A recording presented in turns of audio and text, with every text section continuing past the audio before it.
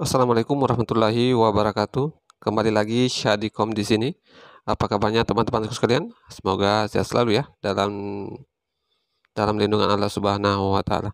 Oke, di video ini saya akan membagikan cara mempercepat kinerja laptop kita ya. Dan yang perlu dilakukan yaitu mematikan beberapa Windows Service yang aman dan lebih baik dimatikan ya untuk mempercepat kinerja pada komputer ataupun laptop kita. Oke, agar memaksimalkan potensi dan kinerja komputer kita, kalian dapat menggunakan cara pengoptimalan program service setiap perangkat masing-masing. Oke, caranya bisa disimak pada video selanjutnya. Cek ada. Oke sobat, ikuti langkah-langkahnya ya. Yang pertama, silahkan buka tombol tombol start ya di sudut kiri bawah. Lalu ketikkan service services ya. Setelah diketik silahkan kita tunggu ya sampai menu servicenya muncul di sebelah atas ya. Oke seperti ini. Kita klik. Kita tunggu sampai program servicenya terbuka Oke, sekarang jendela servisnya sudah terbuka. Kita lihat menu di sebelah kanan ya.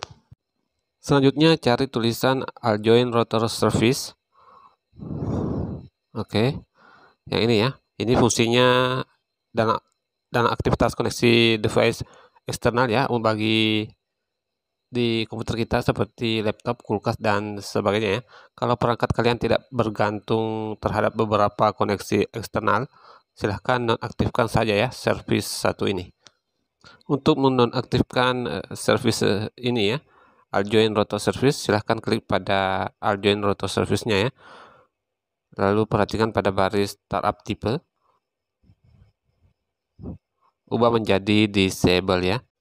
Setelah memilih disable, kita klik pada bagian apply, lalu klik OK. Oke, selanjutnya kita akan mematikan service selanjutnya ya.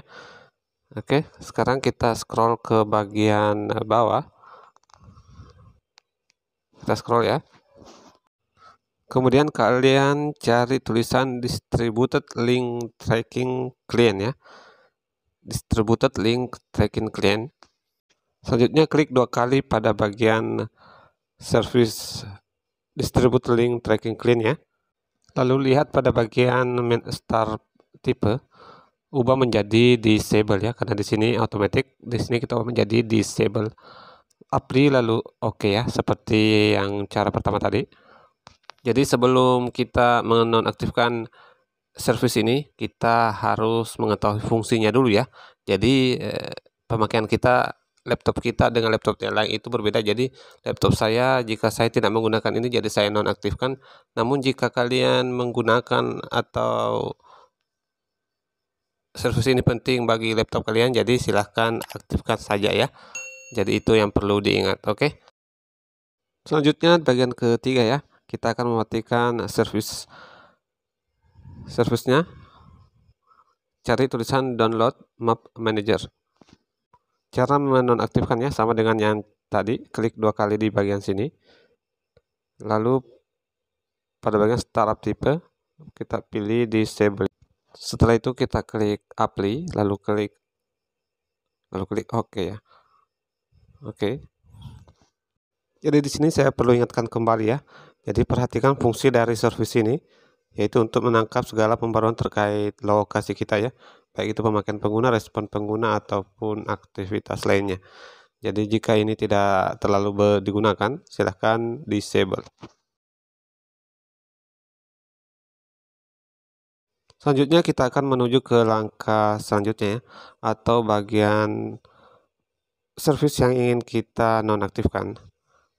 Oke, di sini silahkan kalian scroll ke bawah lalu kalian cari tulisan fax tulisannya fax ya jadi kalau dari tulisannya ini bisa kita ketahui ya jadi jika kita tidak menggunakan fax pada komputer kita silahkan nonaktifkan saja Untuk fungsinya mungkin kalian sudah tahu atau paham paham ya.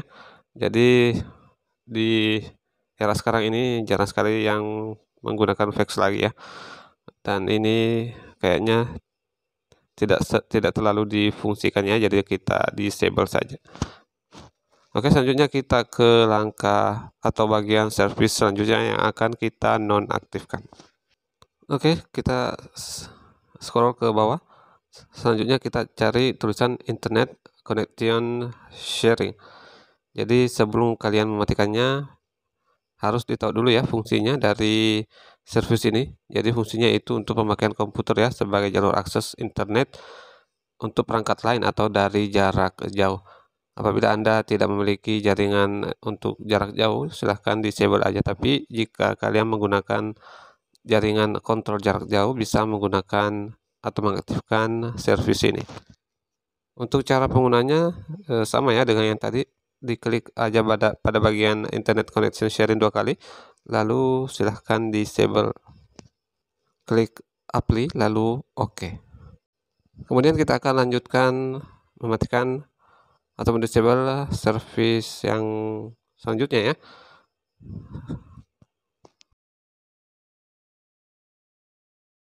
silahkan scroll ke bawah lalu cari tulisan net logon cara mendisable-nya ya klik dua kali lalu pada syarat start tipe pilih disable lalu klik apply kemudian klik klik OK ya fungsi dari net logon ini yaitu layanan yang bertugas dalam panggilan antar, antar muka ya, jarak jauh yang berba, berbasis domain Windows.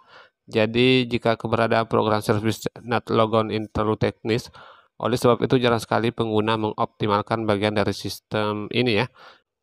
Jadi ini kita disable saja. Oke, selanjutnya kita akan mematikan service pada Windows kita ya yang tidak kita begitu fungsikan. Silahkan scroll ke bawah ya dan cari tulisan parental control. Parental control ini berfungsi untuk memonitor ya. Jadi karena saya tidak menggunakan ini jadi saya disable saja. Jadi caranya sama ya untuk mendisable-nya. Pilih disable lalu apply lalu klik OK. Namun karena fungsinya ini untuk mengontrol anak-anak ya. Jika kalian ingin mengontrol anak-anak silahkan eh, kalian aktifkan service parental control ini selanjutnya kita akan matikan service berikutnya ya.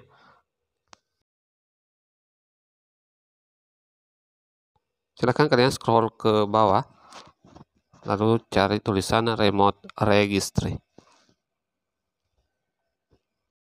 Untuk mendisable kita klik dua kali pada bagian tulisan remote registry ya di sini. Lalu pilih disable ya kemudian apply lalu oke. okay. Ya fungsi dari remote register ini ya. Jika kalian memiliki orang lain untuk memperbaiki sistem konfigurasi pada registry kita silahkan aktifkan. Tapi karena di sini saya tidak menggunakan konfigurasi orang lain jadi saya nonaktifkan. Selanjutnya kita akan ke ke tahap selanjutnya. Menonaktifkan service yang ada pada Windows kita. Scroll ke bawah lalu cari TCP garis miring IP NetBIOS Helper. Klik dua kali ya pada bagian tulisan TCP IP NetBIOS Helper. Lalu klik disable ya. Klik apply lalu klik OK. Jadi untuk fungsi dari TCP IP ini jika kita ingin meminta bantuan dari orang ayah untuk menyelesaikan BIOS dalam komputer kita. Karena di sini saya tidak menggunakan fungsi tersebut, jadi saya nonaktifkan saja. Oke, sobat. Itulah beberapa service yang perlu kita batikan ya atau yang tidak kita butuhkan di komputer kita. Jadi eh, komputer kita ini berbeda dengan uh, komputer kalian ya. Jadi tapi jika kalian membutuhkan beberapa service yang sudah dimatikan, silahkan aktifkan kembali ya jika kalian membutuhkan service tersebut. Jadi Di sini saya juga perlihatkan dari startup tipenya. Pilih bagian otomatik ya, karena bagian otomatik ini yang mungkin perlu dinonaktifkan. Tapi Anda perlu berhati-hati melihat pada bagian start startup tipe ini ya. Ini beberapa yang berjalan otomatis. Oke, seperti itu cara mempercepat atau melancarkan pekerjaan dari komputer kita ya atau kinerja dari laptop ataupun PC kalian. Oke, sampai di sini dulu ya sobat. Akhir kata saya ucapkan terima kasih dan mohon like, subscribe dan share ya jika berguna. Dan saya ucapkan terima kasih. Assalamualaikum warahmatullahi wabarakatuh.